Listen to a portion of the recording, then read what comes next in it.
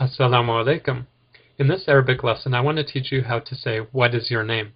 If you're in an Arabic country, you're going to get asked this question a lot. Or at least I got asked this question a lot when I was in an Arab country.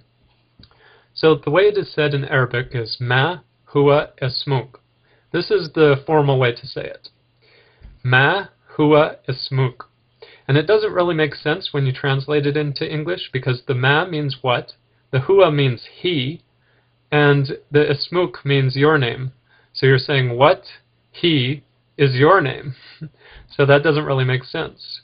And I've actually never heard anybody ask it that way to me. When somebody was asking what my name was, they would just say ma ismuk.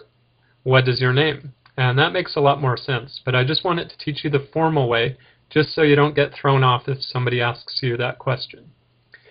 Okay, so ma ismuk.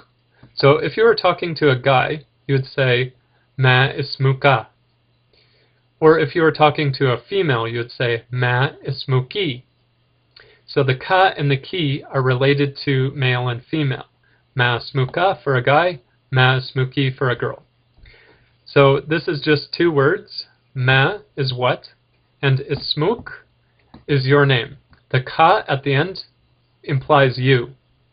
And again, when we say ka, that's for a male, and ki for a female. So, ma ismuka, ma ismuki, or if you want, you can just say ma smuk, and don't you don't even have to think about it.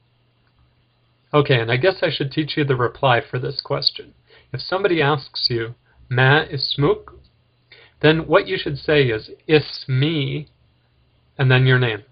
So let's say my name was Abdullah. I would say ismi Abdullah. So it's still coming from the same uh, root word. Instead of ismuk with the k at the end, you're saying ismi.